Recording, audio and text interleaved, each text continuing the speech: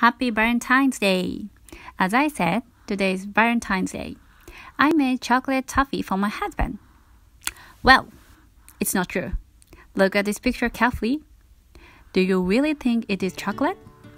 Actually, these are not chocolate but miso balls to make easy miso soup. Surprise! It's so easy to make these cute miso balls.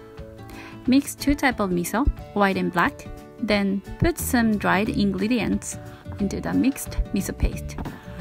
I used dried Japanese radish, ariake seaweed laver, wakame seaweed, and some ofu, which is Japanese traditional food like wheat brown.